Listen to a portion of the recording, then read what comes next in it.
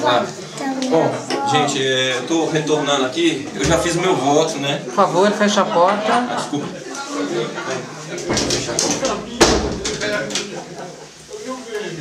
É, oi.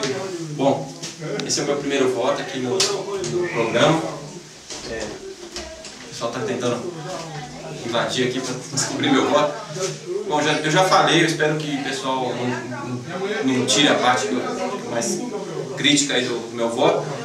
Eu estou é, gostando muito de participar do programa, é, todo mundo reunido, o pessoal está ajudando, todo mundo ajudando todo mundo, eu acho muito legal isso.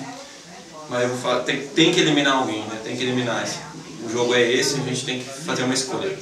É, a pessoa que, que eu vou votar é até a pessoa que, que me passou essa cerveja aqui, é um, mas não tem nada contra ele, ele é uma pessoa ótima, um grande, um grande jogador, é um jogador que até é, me incomoda, né? Então eu vou ter que votar para ele na verdade, meu voto vai para pessoa que me deu cerveja. Para quem não conhece ele, o nome dele é Xavier e para os mais íntimos é Xavier.